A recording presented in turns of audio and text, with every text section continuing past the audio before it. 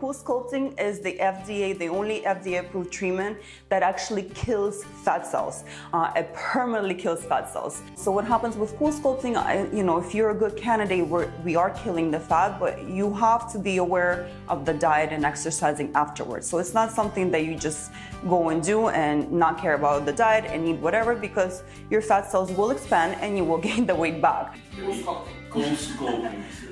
Cool sculpting if I'm a candidate for the CoolSculpting, yes. or if we need to do something different. But what I can tell you is you will find everything you need right here. Our body already has so many amount of fat cells when we were born.